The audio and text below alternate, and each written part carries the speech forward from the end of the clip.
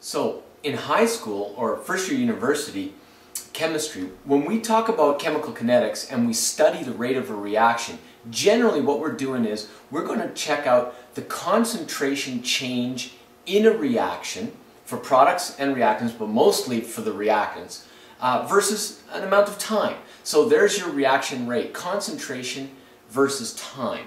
So let's take an example here and just let me break it down for you and show you what we'd be studying and how we're going to actually come up with a formula that's going to be able to describe a rate of a reaction.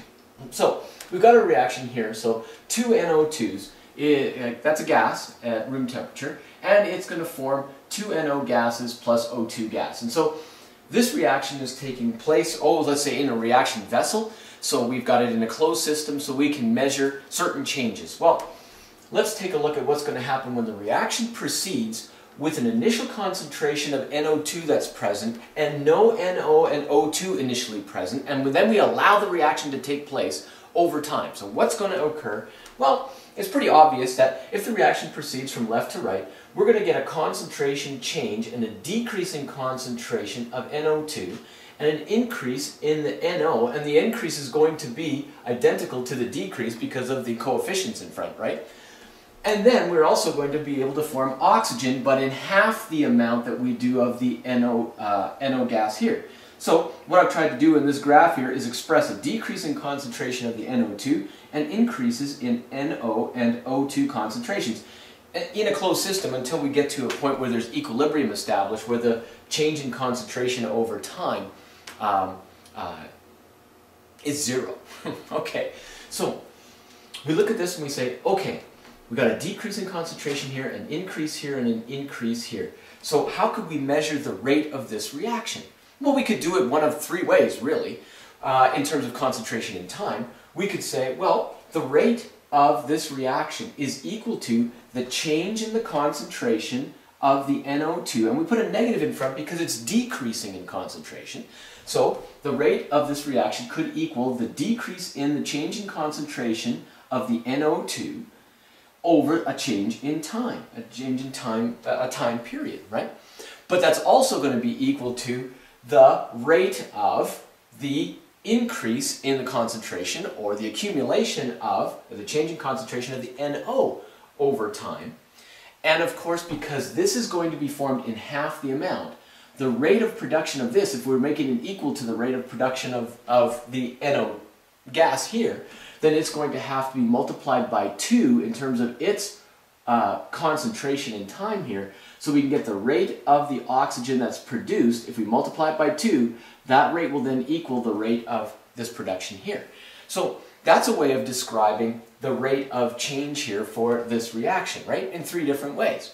Now, here's what we're going to do in, in this unit of study. We're going to concentrate not on the products here being formed, but we're going to concentrate on the reactants and their decomposition. So, there's a way to express, now well, let, me, let me go back and just say, if I were to ask for what is the rate of decrease of the NO2 at any given point, well, you could actually do this to be able to calculate what we call the instantaneous rate. You could actually draw a line, whatever point you want. Is if you say, okay, at this time, what is the rate of decrease here? Well, if you drew a line, a straight line that was tangent to the curve, and then you did the change in the y-axis versus the change in the x-axis quantities, that gives you the, the, the rate of change at that particular point, that instantaneous point. A line tangent to the curve will help you to calculate that. But here's the thing. If you wanted to know not just the instantaneous rate, but really what is going to be the rate of reaction at any given point here, and what would, what would an equation be that would express that? Wow, this is a curved line and not a straight line. So how do you do that? You use calculus. Now here's the thing. You're to say, I don't want to use calculus. Okay, so what we do in chemistry is we come up with a formula that's kind of calculus based that's going to be able to help us to determine the concentrations or the rates at any given point. Here's how it works. We're going to take always the reactant and we are going to put it in concentration brackets and we're going to write this rate equals K. Now it's a lowercase k. rate equals K times the concentration of the NO to a certain power. That actually will express, and a, it's a formula that we can utilize to be able to calculate the rate of reaction at any given concentration at a particular temperature. This is a temperature specific type of equation. So the rate of the reaction is going to equal K, which is going to be called a rate constant. I'm going to show you how to derive that in the units for that too. Times the concentration of the NO, but that N there is the power to which that concentration is taken. It's called the order of the reactant or the order of the reaction. And that is going to be, for our intents and purposes, a whole number.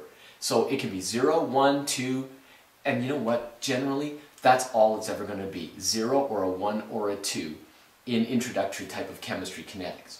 So we're going to utilize this formula, and coming up right now I'm going to do a question where that formula is going to help us to determine uh, what the uh, order is for a reaction.